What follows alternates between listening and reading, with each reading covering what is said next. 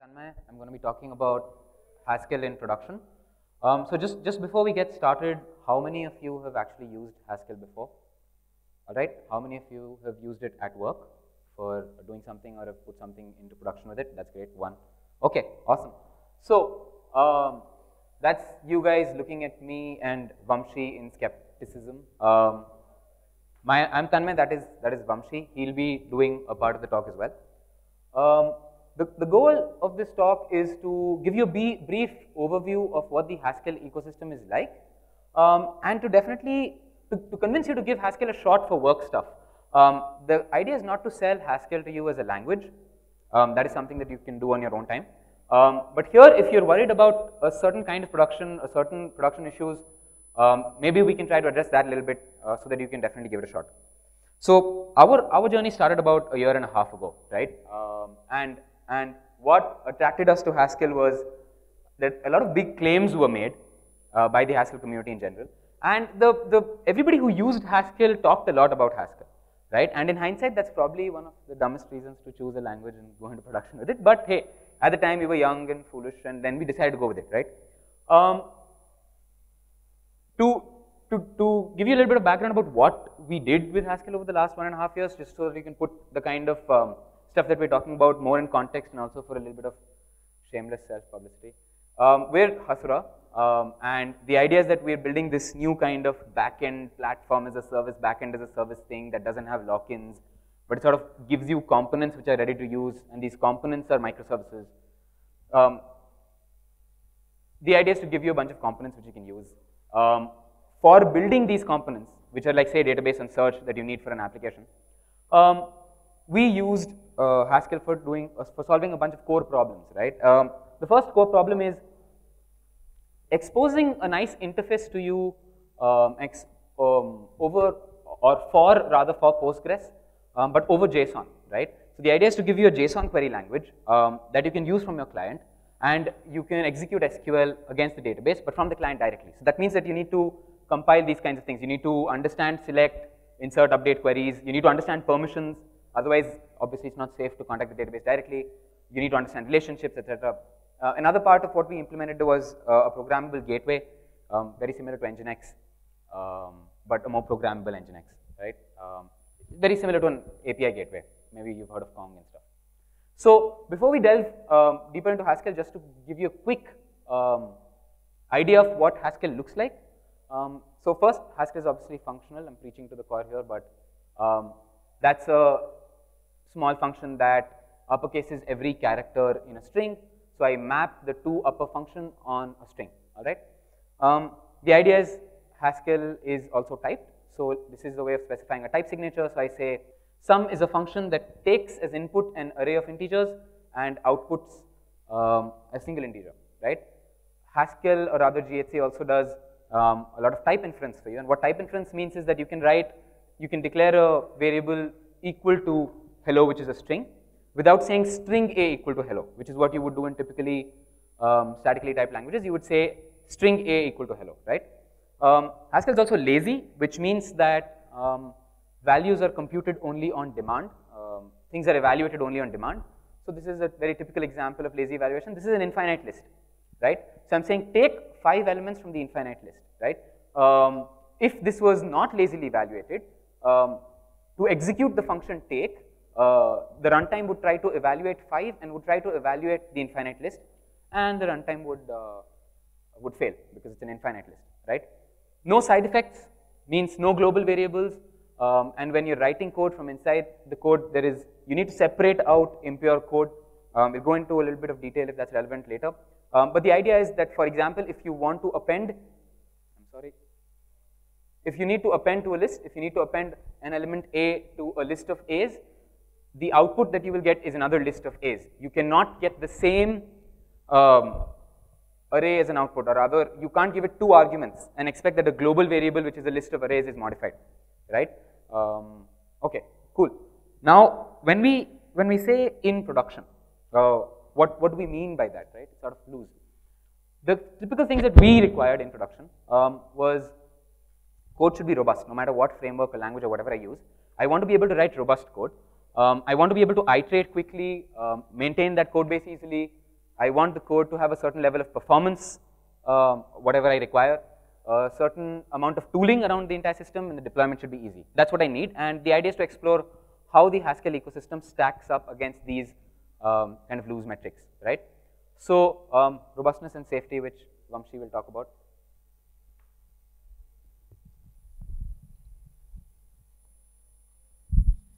Hello. Yeah, this is a typical joke that runs along uh, wherever you, wherever Haskell is mentioned. So, what is robustness when it comes to software? is not it a vague term to throw around when you are discussing software? So, I would rather take an example uh, for like GCC. When you compile your C code with GCC, you expect you, you don't expect GCC to crash you don't expect GCC to segfault. You don't expect GCC to generate code which could segfault because there is a bug in the GCC code generation algorithm. What? And would you consider Firefox robust? For example, if you're using some Flash plugin, why is it crashing my browser? So you see that even with a major organization like Mozilla, robust software is a hard deal. It's, it's, it's a hard thing to achieve. So yeah, I don't have solid metrics for GCC, but uh, if you look at SQLite, it has 94.2 thousand lines of code and has about 1,000 times more test code. So how do you achieve this kind of robustness?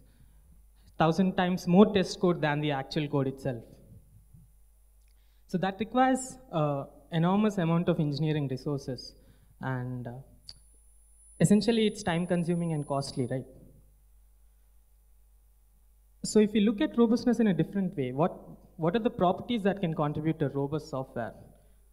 Uh, something that's being correct and the errors are handled well and basically a uh, lot of testing that's, under, that's undergone.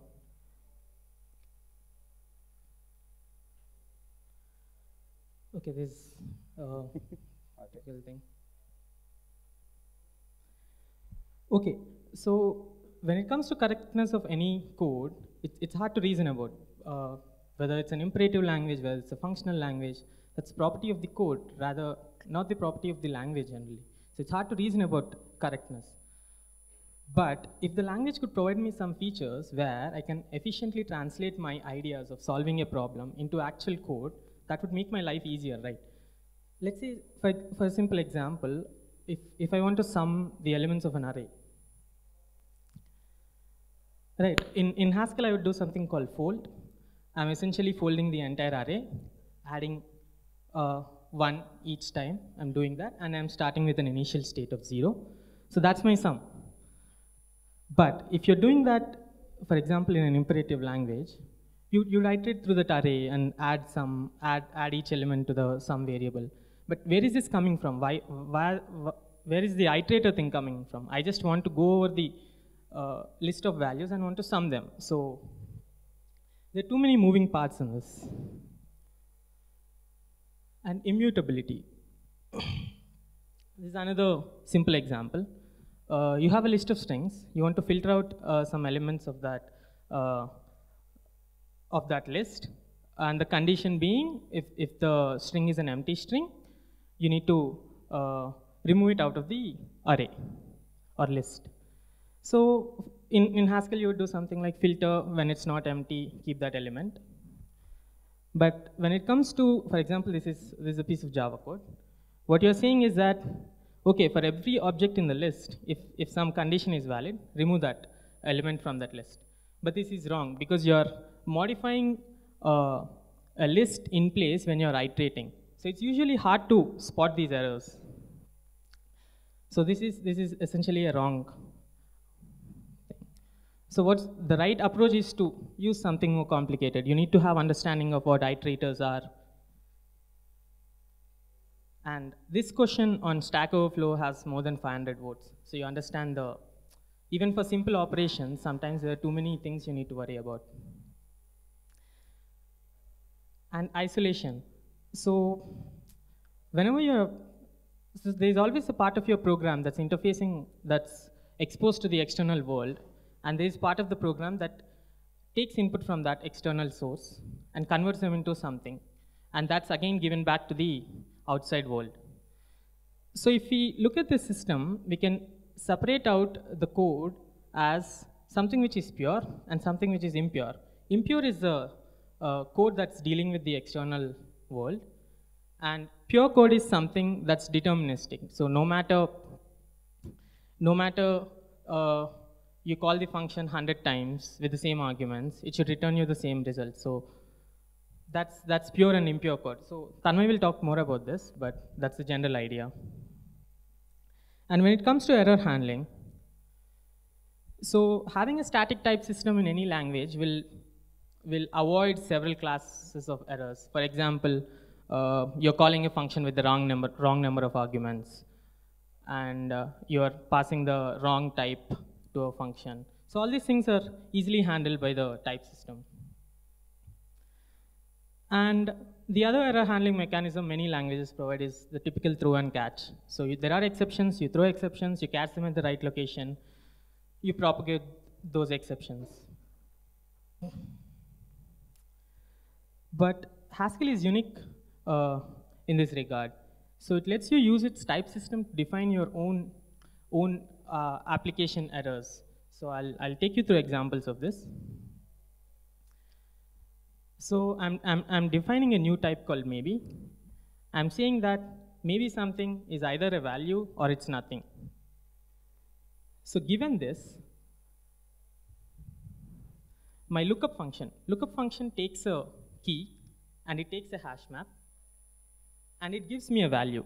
Typically what, what's the uh, return type of a function in, of such a function in uh, Java? It will be the value. It's not maybe value. What essentially the type system is capturing is that you may not find the key in the hash map, so there is a chance of a failure. So that's essentially captured here. So if you can't find the key in the hash map, the lookup function will give you nothing. If it could find, if it could find the key, it will give you just something. So this is essentially the type system is enforcing use, enforcing some constraints so now if I, if I looked up for a key in a hash map and I'm trying to use that value as a normal value, the type system would not allow me to uh, do that. It would say that it's maybe V and not V. So you need to handle that. Yeah, and if, if, if you want to give out more information when you're when an error happens, for example, Haskell defines a sim simple type called either A or B. What it essentially says that the value that's being returned can be either left or right. So essentially the convention is that left is usually marked for errors and right is the actual value. So where can we, you, uh, so where would this type make sense? Let's say you're getting a, you have a JSON string or a JSON file. You're trying to parse that file. Let's say string be the uh, JSON string and you're trying to parse it. What this type signature is saying is that there could be a failure, and I'm returning that failure as a string to you, and if there is no failure, I'll give you a JSON value. So essentially, you're capturing different kinds of uh, errors. And, okay, uh, so let's consider a simple use case. Uh, let's say I'm writing a library to interface with Postgres. I'm trying to give you a function which will take an SQL statement, which is essentially string here, and it will either give you a result of that SQL statement or give you an error. But the, uh, I'm also giving you one more feature. What I'm telling you is that when you, when you use this function, exec SQL, it runs it in a transaction, and if the transaction fails, or if the transaction is not committed because of a conflict, I'll rerun it. So that's a higher level abstraction than simply executing an SQL statement. So th that's what this is the function I would like to give it for you. And this is what I have. So I have a low-level function which is exposed by the libpq library of Postgres. It says that it can take a string, which is SQL statement, and it will give me something called db result. And what essentially a db result is, it could be an error, it could be the actual value of that SQL statement, or it can be a conflict. So now if I have this function and this, this is the uh, type of the result. Can I, can I provide something like this? A, a higher level abstraction over this. So this is a function which I'm implementing. execSQL, in case of a result, I'm saying, okay, it's a valid result, so I'm giving you right A. In case of an error, oh, it's an error, so I'm giving you, I'm wrapping that in a left value. In case of a conflict, what I'm trying to do is, I'm trying to execute this again. I'm retrying the statement till it's executed. So what, what have we achieved by this? We've taken something low level, which is exposing too many error func uh, too many errors that are not really comprehensible to the end user. So you, as a library user, would like to just give it an SQL statement and want that, want the result. And if, if, if it fails, you would like that statement be retried. So that's the functionality I'm trying to provide. And I've achieved that by masking these errors that are thrown by the, that are thrown by the low-level uh, libpq library. So you might wonder why, why can't I achieve this same thing uh, in any other language? You can probably, but it's usually a bit more error prone. What you would do is the execSQL state, uh, the lib, exec libpq uh, function would throw exceptions in a, let's say in language like Java. What if you forgot to capture an exception? That exception will be propagated to the exec SQL thing. And a user is not expecting that exception to be thrown. The user is expecting, the user is never expecting a transaction conflict. The user is only expecting an error in his SQL statement. So what we have essentially achieved is that we have localized the errors. So when, when some errors make sense at a level, they are captured at that level. And we have made sure that errors are propagated in the right way. And when it comes to testing code, uh, you have regular unit tests, that's every, uh, which every language provides. And then there is property-based testing. Uh, how many of you have heard about property-based testing? Okay. Okay, let's take a simple example. Uh, this is a quicksort function, or not, rather. It's, it's, it's a function which sorts. Uh, Okay, uh, let's not bother about the implementation. Now I want to think about certain properties this function holds. So the first property is that when I sort an already sorted list, it should be the same. So this is an idempotent property, and what I'm saying is that this is the property I want the, to be verified. And QuickCheck is a library that can take properties like this, generate random tests, and says whether this thing passed in most of the test cases. But QuickCheck is quite smart. It essentially tries to find a test case which can nullify, which can say that this property does not hold. And what it can also do is, it can, if, if, if an array of, say, 10,000 elements uh, generated an error, it can compress that to an array of maybe 10 uh, elements. It tries to uh, give you a minimal test case which can reproduce the same error. And this is another property that holds of sort. So the minimum, uh, if, if the list is not empty, the first element of the list, list should be the minimum element of that list. And there's one more uh, interesting thing you can always compare your existing, your new implementation with the existing implementations. Let's say you have discovered a new uh, efficient way of sorting, and you want to see whether uh, it's actually correct. In most of the, uh, you, you can, sort is a function that's implemented in the standard library, and you're almost assured that sort never goes wrong. So you're comparing with your implementation of quicksort and asking it to generate random tests to see where the output doesn't match. So just to just to add to what Vamshi was saying, what Vamshi was saying in the testing thing, this is actually this might seem very useless because you're like, oh, how many times in my code do I actually write do I actually write a sort function that I need to test, right? Um, but but there is this thing I will talk about when you in Haskell you're encouraged to write code that operates purely on values very separately from code that interacts with the real world. And hence, property-based testing starts making a lot of sense.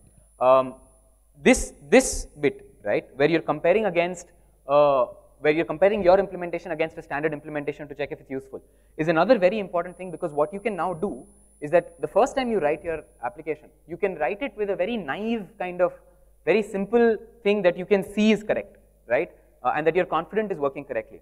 Now, you can write a more efficient version of that or a version of that that does a lot more or handles um, uh, more performance edge cases or whatever, and then you can compare that as a reference uh, implementation. So these, these kinds of things actually become very useful. I'll, I'll talk about them more here. Um, when, you're, when, you, when you have a large code base, um, especially in production, you need things to iterate quickly and you need to be able to maintain that code, right? And the two most important things are I need to be able to architect, implement and propagate changes in my code base easily. I also need to not break existing code, right? If I make a change here, I need some sort of a strong guarantee that code is not breaking somewhere else. Um, this, this, is, this is the reason why I guess a lot of people really, really, really like Java.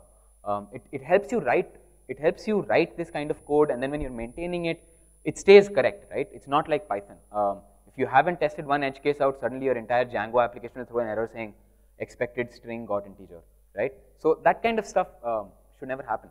So just to take you over a quick example of how the separation of concerns bit um, and the functional bit add a lot of value to code is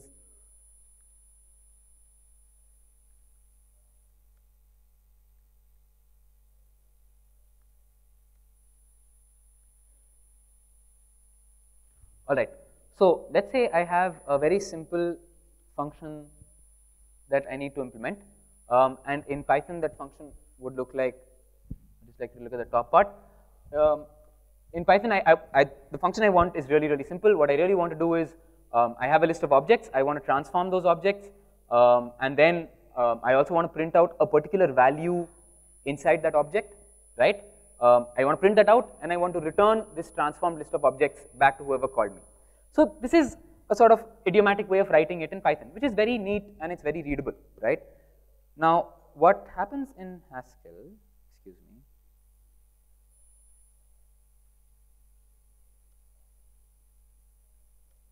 right. So what happens in Haskell is the first cut implementation that you will write, right? You, you can't actually do IO inside your functions and that's very irritating when you start off with it. So let's look at the first cut implementation that I want. I want to transform all my objects. Transform all is a function that is actually map, trans it's a currying thing which everybody would be used to. I'd say map transform right? So the idea is I said take my objects and apply this function called transform all on them. What is transform all? Transform all is a function that maps a function called transform. So transform is a function that operates on a single object. I map that function to operate on a list of objects uh, and I get a transform all function. But I can't print out values also, right? Uh, that's painful. So you get a more painful version in Haskell which is written like this. So you say, this is a little irritating to write, but what you write is, you now say um, a different kind of map. You use mapM when you want to map over something that does IO. It's not correct, but let me go with that, right? So I said map a function called log value over my transformed objects. What is log value? Well, log value is a function that is, it prints, it's a composition, it's f dot g, so it's print dot some value. So log value itself is a function that will take a particular object, extract some value and print it map this function over all the transformed functions and I'll be able to print a list of values. How do I get transformed objects? Well, I get transformed objects the same way I was getting it earlier. Transformed objects is equal to transform all my objects, the same thing that remains earlier, right? What is transform all? Well, this is what it is. Now, the interesting thing happens is that when typically you start refactoring this code, you want to change the way, you want to change the way, let's say the function log value is implemented, the function that is writing the file. Maybe you want to start writing it to the database. Or maybe the nature of the transformation itself is something that you want to change.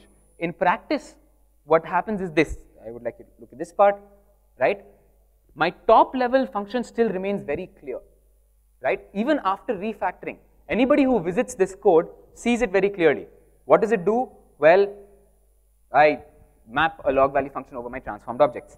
Um, what are my transformed objects? Well, it comes through a function. What is log value? It's another function, right? My transformed objects again comes from transform all. Transform all earlier was just a map on transform. Now it's doing some kind of weird averaging, normalizing, something, something, something, right? The interesting thing is all my tests that I wrote initially all the way up here for checking if transform all is correct will continue to work even uh, in, in the latest implementation, right? Um, that, is, that is something that you have to really think about if you want to write code well um, in another programming language, which doesn't separate these concerns so well.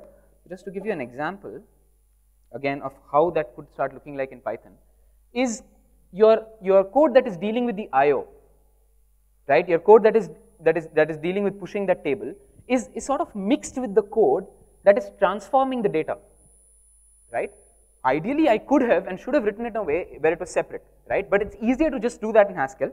Um, and this kind of separation of I.O. adds a lot um, of ease, right? Um, okay, there are two also other big things that help um, in maintenance and iteration that are unique to Haskell even amongst other uh, programming languages. One is type inference and one is laziness. Quickly to take you over what type inference is. Um, so I, I, want to write typed code.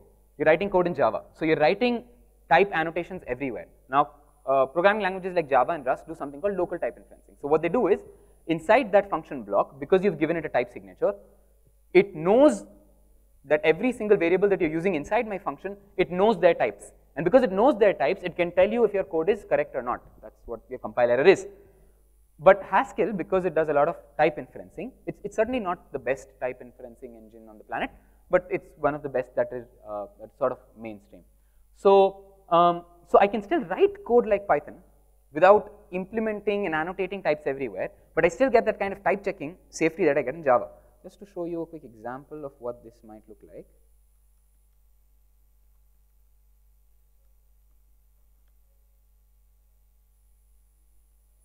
All right, so um, okay, okay. So here I have a very little function, and all it does is it averages a bunch of numbers, right? Now this function is very similar to what it would look like in Python as well, right? I'm just I have an array of integers, and I'm averaging over those array of integers. What's what's the interesting thing becomes that when I do this, the compiler will fail, right? The compiler will fail because, and, and the interesting thing that, that, that, that GHC can do is it can reason about what's happening in your code. So what it'll say is, I, I see that you've defined a function called average. Now average takes an argument called numbers, and what you're doing is you're taking the sum of the numbers, you're applying a sum function, and you're dividing it by a length function. The sum function I know, because it was included in the standard library, the sum function operates on a list of numeric objects, or a list of integers. And I know that the length function operates on an array. I don't care what kind of array, but it operates on an array. Hence, I know that your average function, the argument numbers, must be an array, and it must also be an array of integers, right? And hence, when I try to compile this main code, this part is going to fail because you've not given me an array of integers, you've given me an array of tuples, right? This, this simple thing makes it really easy to quickly iterate on code, right? Because you, you have a bit of working code, you quickly write a small function, you ask your compiler to type check it, the compiler type checks, you, you don't need to annotate types, right? Because if you're annotating types, writing functions, annotating types, writing functions, things become a little painful. Um, that is one style of, of development. Um, another thing that now Haskell encourages something called type-driven development. Um, all right, okay. So, so very similar to, or rather not similar to at all, but analogous to test-driven development. What type-driven development says is, why don't you write your entire application first? Think about your entire application. Think about all the functions that you're using and write the type signatures for them, right? Um, then do whatever it takes, whatever it takes to get your program to compile first. Now your program is compiling, so you know that your architecture of the entire application is solid. Um, Haskell makes this easier by having something called undefined. Because it's lazily evaluated, you don't actually need to implement the function. You can say that I have an average function which takes a list of integers and gives me an integer. But I can write average equal to undefined.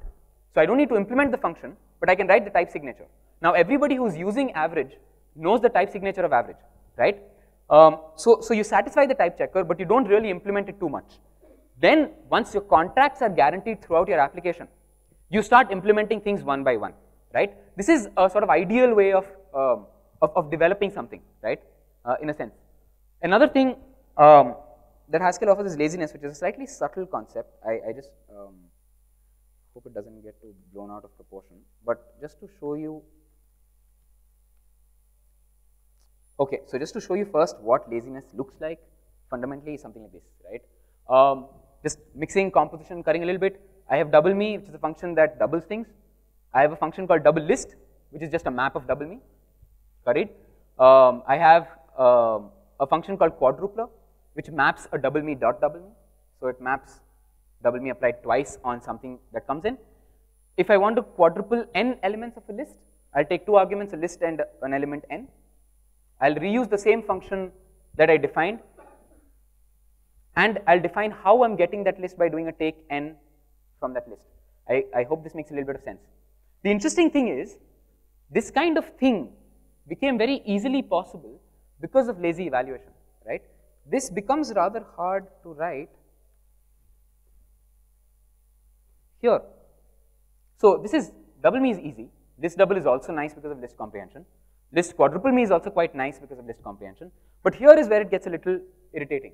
The nature of data generation is deeply tied into the nature of processing your data, right? This is something that, this, this kind of binding is very hard to prevent and, and separating that becomes very easy because of lazily, lazily evaluating things, right? I'll give you a tangible example of how this affects structuring your code in a very fundamental way. Okay, so I have a function. This is Haskell. I have a function that takes an argument. If condition 1 is met, then an expensive calculation is run. Else, another cheap calculation is run. What is condition 1? Where condition 1 is argument greater than 0. What is expensive calculation? Many operations happen and then again many operations happen. What is a cheap calculation? Some cheap operation or not. I get very readable code uh, and I've defined what that code is somewhere else, right?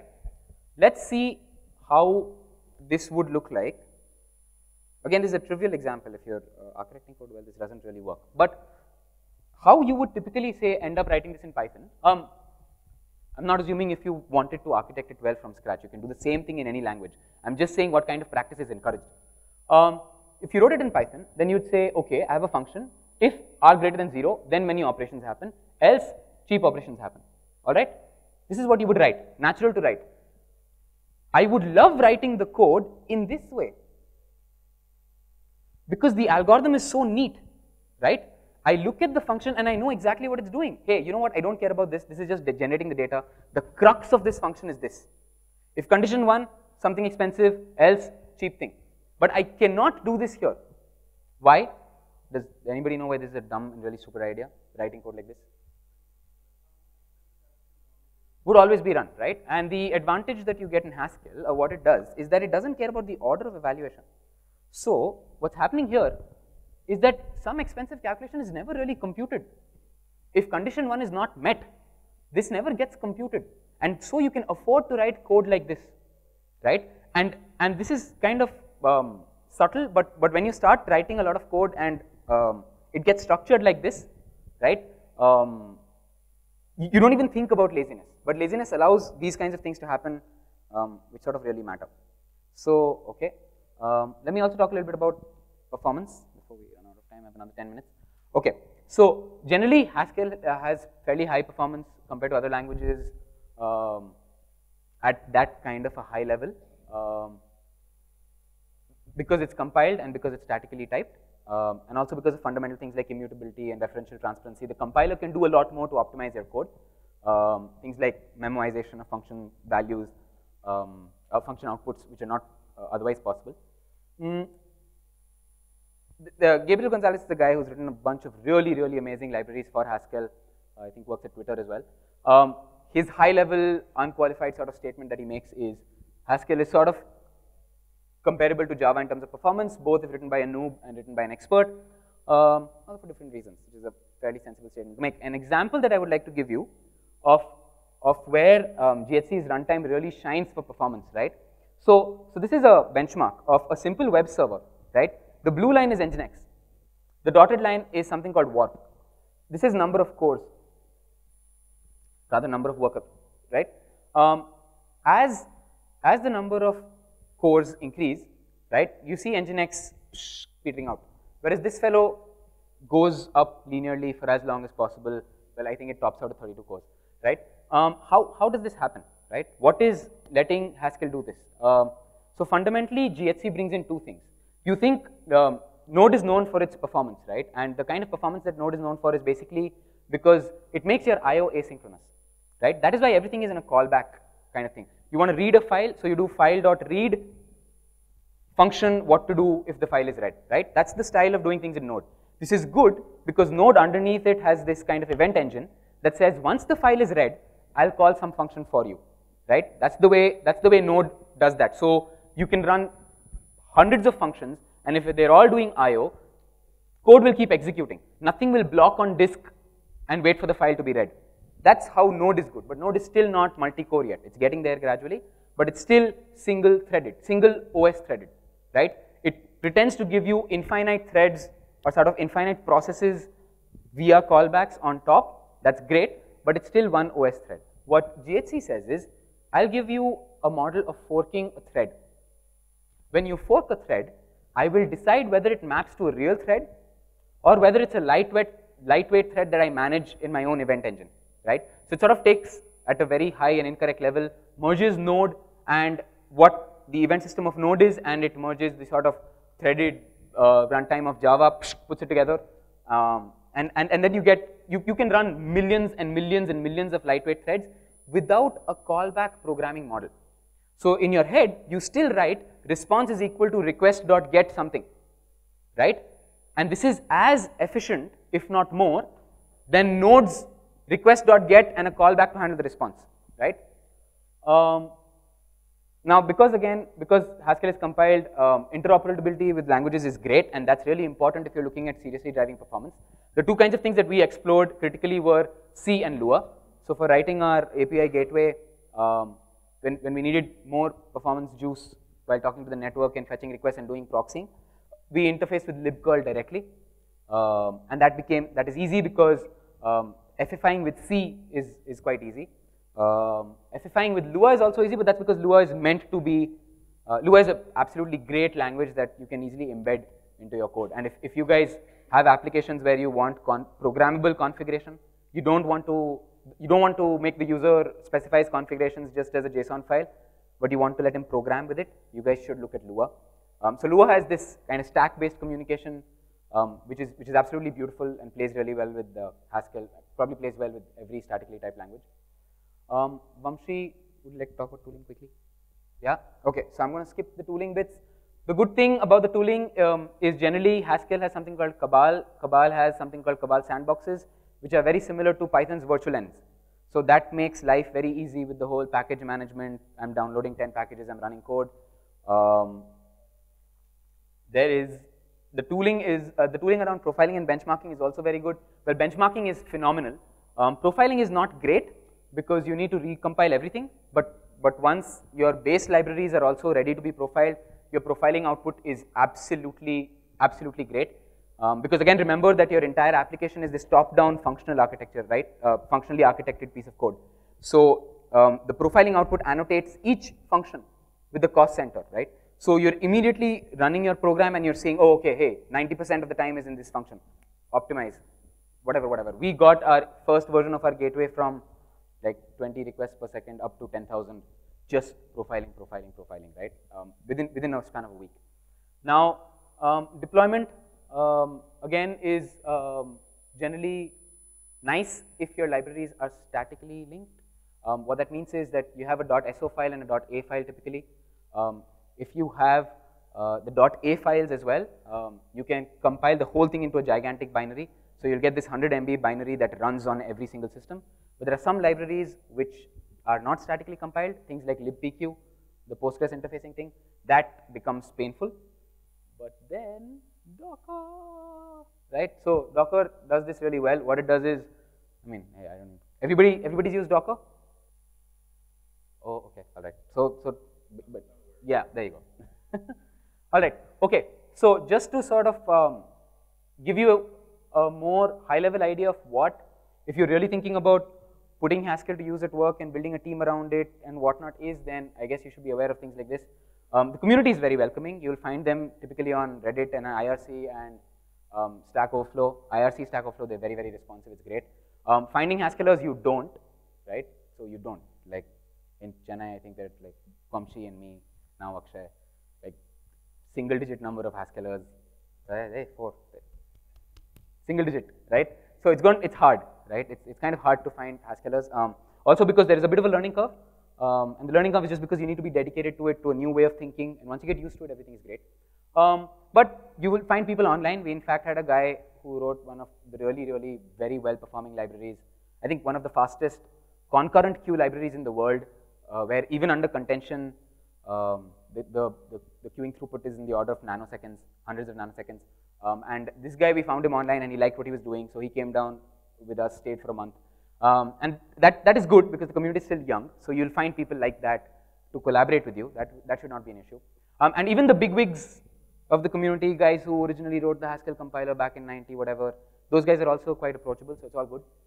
Um, now, to, to roughly sum up what the whole status of Haskell looks like is it's still immature in these areas. Um, Cross-platform with Windows is still quite buggy. Uh, on Mac and Linux, it's been great in our, in our experience, and with Docker, it's been uh, pretty easy. Education is bad because there are lots of beginner resources, but the number of intermediate resources are a little low, right? So if you're a good functional programmer and you really want to get to grips with it and do something, the resources are not that many. Um, it's also not very good currently for distributed programming. It's nowhere close to Erlang, not, not even close. But concurrency, it is the best in class. Single machine concurrency, right? Um, game programming, don't even think about it. Numerical programming, also don't wait till libraries come out. Um, hot code loading, IDE, front-end web programming are all strict no-nos. Um, but um, web servers, compilers, absolute best. You want to write a compiler, you should not do it in any other language other than Haskell. You should learn Haskell and then write a compiler, right? Um, parsing, writing DSLs, again, best in class. Um, stream processing, the whole lazy model or whatever works really, really well. Um, in, in the Haskell environment, you can stream input and output very well. It's easy to write such systems. Great libraries out there. Um, maintenance and type-driven testing, I took you over. Um, all right, I think we'll wind it up from our side. Questions from you guys?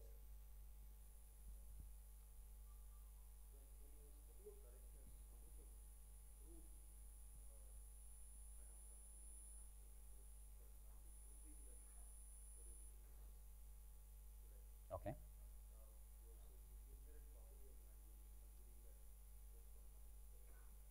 Can you give me a more specific example? Okay. Yeah, yeah, sure. All right. Okay. Okay. Are all right. All right.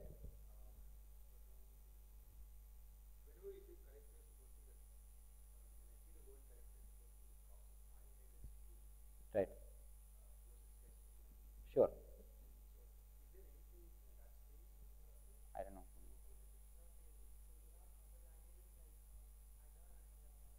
Coq, I think. Yeah, Agam Coq. Uh, but but at the same time, I think the when when you think about writing things in terms of type contracts, right? Um, that's your proof right there almost. Most of it is most of it is right there, right? Especially because th this this idea of impure I/O when I first heard it sounded like more of a pain in the ass than a help, uh, than a helpful thing. But it's actually very important because this idea of having no side effects, like I think you mentioned in the morning, right? The idea of having no side effects is very very nice. The same function, the compiler can guarantee it. It's not you guaranteeing it. It's not like my function looks pretty, so the same input will give you the same output. The compiler is guaranteeing it to you that for the same values, you will always get the same values of the output. That's insane. That is that is literally a little insane because um, I mean, and that's your that's your proof right there, right? So so in in that sense, it helps um, writing in correct code, I guess.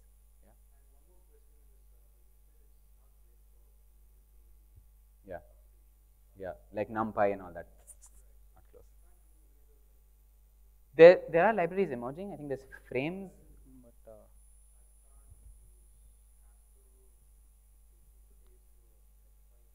sure you can. Yeah, yeah, yeah. But I mean, why go through that pain? You'd rather use Python, which FFIs with C for NumPy to get the same benefit, right? Um, it's not great yet. It will get there, I guess.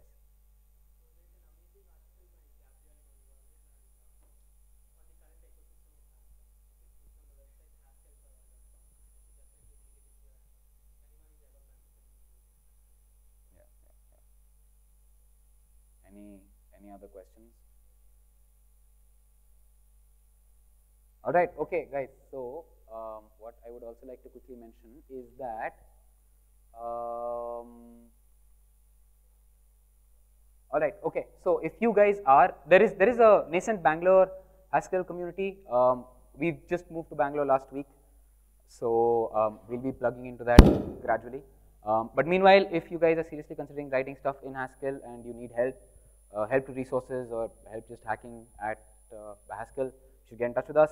Um, you should also check out the Bangalore Haskell groups. I think there's uh, Jasim, uh, who's uh, usually always there. So um, that will help you out. And of course, we are hiring, yay. So if you guys do really want to use Haskell or do some serious functional systems kind of programming, um, well, actually a lot of um, systems programming as well, which we didn't touch upon, um, then you should join us. All right, okay, very exciting. Thank you guys.